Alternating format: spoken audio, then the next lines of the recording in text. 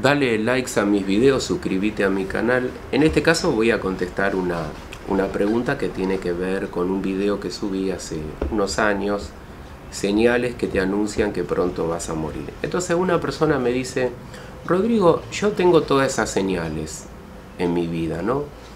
Entonces, eh, ¿qué hago? Pongo las cosas eh, en orden en mi vida, ¿no? Me sano, me reconcilio con las personas que, que de pronto eh, me he hecho daño, ¿no? He hecho daño, me han hecho daño. pongo todos mis asuntos en orden. Y yo, ¿cuál es su respuesta? Y yo le digo lo siguiente. Tenemos que esperar a veces los seres humanos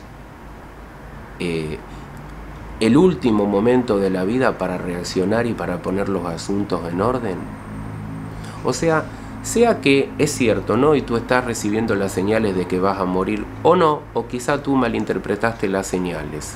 ¿eh? Porque esto suele suceder mucho. La persona tiene un sueño donde ve su propia muerte y inmediatamente dice, recibí las señales, voy a morir y entra en pánico. O, o se sugestiona. Entonces yo, yo digo lo siguiente, sea que sea cierto, sea que no sea cierto, me parece que si uno es consciente y se da cuenta de la importancia que tiene poner todos los asuntos en orden, especialmente los de tipo espiritual, los de tipo emocional, donde uno libera a otra persona, donde uno se libera uno mismo para llevar adelante una vida más positiva, más bonita, más profunda, con más florecimiento. Porque qué florecimiento en la vida de uno va a haber si uno está culpando a otra persona, si uno no deja ir a otra persona, si uno no para de desearle el mal a otra persona. Y uno mismo como ser humano se justifica y dice, no, le deseo eso porque él me hirió, Rodrigo, porque ella me hirió. Entonces no esperemos hasta el último momento. Ahora, si usted no es consciente y, dice, bueno, dejo esto para más adelante, en algún momento de mi vida voy a tener la, la posibilidad seguro de resolverlo, no lo puedo resolver hoy. Ok, supongamos que pasa la vida, pasan 5, 10, 20, 30 años y a usted le, le aparecen estas señales, le aparecen sueños, le aparecen sincronías que le avisan que el final está próximo. Y por supuesto que va a haber señales en el cuerpo físico. Cuando uno va a morir, y esto se lo pueden preguntar a las personas que trabajan en la salud, a las enfermeras que ven mucha gente morir, el cuerpo empieza a dar algunas señales también, ¿no? El cuerpo físico se empieza a deteriorar muchísimo, la persona no puede comer, no puede tomar, se deshidrata, eh, pierde la energía vital eh, se desorienta, entra en estados de confusión y no significa que se vaya a morir en cinco minutos. Pero significa que ese deterioro que acontece en el cuerpo, el cuerpo se pone más frío, falta de energía, la persona no come, la persona está muy frágil, es el principio del final. O sea, no es que solo se dan sincronías, ¿no? Y el universo te avisa como una posibilidad de que vos despiertes en este momento y resuelvas algunas cuestiones que van a ayudar a tu karma, a tu propia evolución y a la evolución de otra persona, porque cuando vos estás perdonando a alguien que te hirió y estás ayudando al proceso del perdón, estás mejorando tu karma, estás sanando tu karma, estás siendo una persona generosa, generosa, entonces el universo te va a dar señales. Pero para recibir esas señales o para entenderlas, mejor dicho, ¿no? Uno tiene que estar sensible uno tiene que estar sensible para captar la señal. Si no, tú vas a decir, y simplemente estas sincronías son una casualidad, vas a decir, no tiene ningún valor. ¿Cuáles podrían ser las sincronías que de pronto empiezan eh, a darse en tu vida? Supongamos que, vamos a poner un ejemplo, ¿no? Supongamos que tú has pensado en alguien, en un amigo, en una amiga que hace años y años que tú no ves y de pronto entras a tu red social y aparece un mensaje de ese amigo o de esa amiga.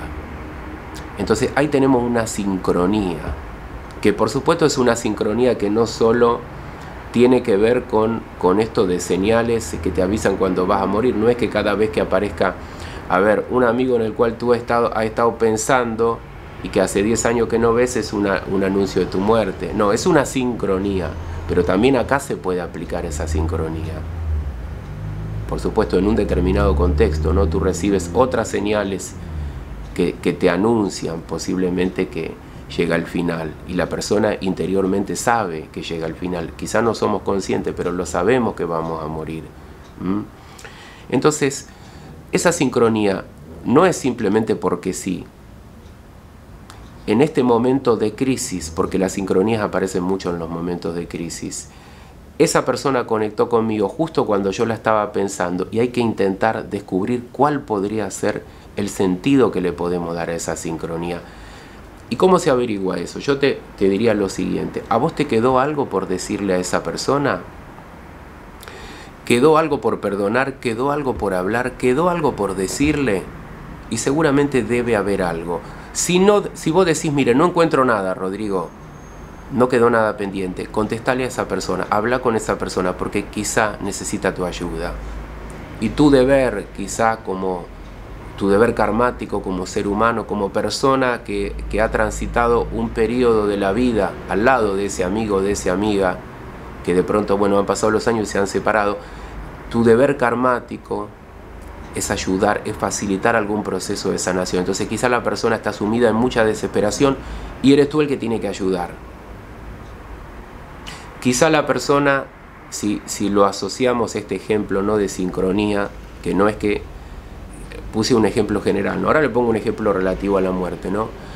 Eh, aparece en las redes sociales tu amigo y quizá se necesitaba una reconciliación y tú necesitas esa reconciliación para morir en paz, para generar un mejor karma. Entonces, tú te peleaste con ese amigo, con esa amiga hace 5, 10 años, un año, 20 años, 50 años. Y miren que estas cosas yo las he visto en mi trabajo.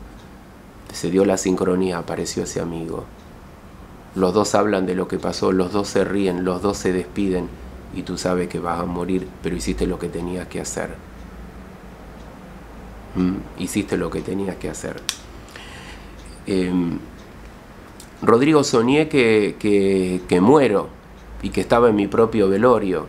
Este es un sueño muy, muy común, ¿no? Ese sueño no significa necesariamente que vayas a morir. La muerte de uno mismo en un sueño también implica eh, el cambio, la transformación. Entonces, si tú tienes 20 años y se da un sueño así, no es que vas a morir. Tiene que ver con que tú tienes que la señal es que tú tienes que hacer una transformación en tu vida, que la vida así como tú la vienes llevando no es viable, eh, las cosas no están, no están bien, te vas a bloquear o ya estás bloqueado y estos sueños se dan en momentos de crisis, tienes que transformar tu vida. Ahora quizá un sueño así en una persona de 85 años, donde ve su propia muerte y está en paz, y ve alrededor de su propio cuerpo muerto ve a su mamá, a su papá que ya han muerto hace 50, 60 años, todos están felices, todos están radiantes. Eso es un sueño que, que puede anunciar muerte o, o, el encuentro con los seres queridos que han muerto hace mucho tiempo en una persona que supongamos que tiene 85 años. Pongo un ejemplo sencillo de entender, porque esto le puede pasar a alguien de 30 años también. Pero yo me doy cuenta que la gente cuando hablo de las señales se sugestiona mucho, entonces en el video anterior van a ver un montón de personas abajo que de manera infantil, porque las cosas hay que pensarlas, hay que meditarlas, no ser enseguida impulsivo y decir, yo tuve estas dos señales, entonces voy a morir. Las personas no intentan pensar lo que les sucede, parece. Entonces enseguida ven, ven un video donde se dicen dos cosas y se creen víctimas de brujería o que van a morir o que nada va a estar bien en su vida. ¿Y por qué no creerlo mejor? ¿Por qué no entender las señales de otra manera? Em, tú tienes un sueño y te reencuentras con tus seres amados que han muerto, que han trascendido este plano.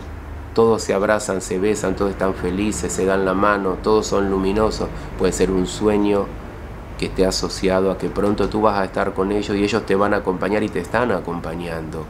Entonces la persona luego de un sueño así se puede despertar calmada, eh, pacífica, se siente acompañada, amada y resulta que la persona que tiene este sueño está atravesando una enfermedad muy difícil que tiene 50% de seguir viviendo y 50% de morir.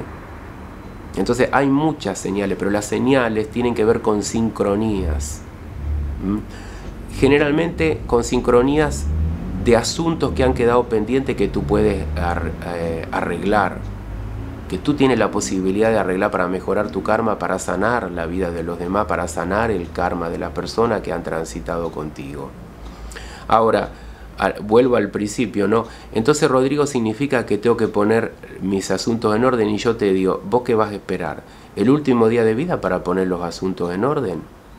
O sea, si vos hoy podés sanar de una relación tóxica, de una herida emocional, de un acto de violencia que cometieron contra ti, hoy si te haces consciente de la importancia que eso tiene, vas a vivir una vida más plena. Entonces, la gente a veces muy no, le cuesta pensar las cosas con un poco más de profundidad. Entonces dice, no, eh, lo dejo para adelante. Y el, último tiempo de mi vida, bueno, si aparecen esas señales, ahí yo voy a sanar. No espere eso, hágalo hoy. Pero a ver, libérese hoy. ¿Para qué va a esperar 20 años, 10 años, 30 años? Ahí en el video anterior noto que hay chicos de 20, 21 años que dicen, eh, vi lo que usted dijo, Rodrigo, entonces voy a morir, significa que voy a morir. Usted no va a morir, son tonterías, está mal interpretando las cosas. A ver, ¿qué hace con su vida? Deje de pensar en la muerte. A veces las personas están tan atrapadas en su propia angustia que malinterpretan las señales y creen que van a morir en vez de intentar enfocarse en la solución, en un cambio en la vida, para tener una vida plena y quizás les queda 60, 70 años más de vida. Entonces hay que intentar hacer lo mejor posible con uno mismo, con la vida de uno mientras uno está vivo. Hay que aprovechar la vida. Es una, una sola vez la vida. Deje de pensar en que se va a morir y en las señales. Si usted tiene 20 años, 25 años, a ver, déjese de joder, viva la vida. Disfrute, haga los aprendizajes que tiene que hacer. Si usted tiene que perdonar, perdone. Lo mismo le digo a la gente de 40, 50 años. No esperen el último momento. Ahora tiene que usted perdonar. No puedo, Rodrigo, bueno, quedará para más adelante, pero si usted es consciente de la importancia de perdonar, se va a dar cuenta que la va a liberar o lo va a liberar. Eh, lo va a liberar. Si no es una energía bloqueada, usted está bloqueado en ese aspecto y eso le puede generar más problemas de lo que usted cree, simplemente porque por no saber perdonar. Entonces espero que esto sea de utilidad y aclaratorio del video anterior.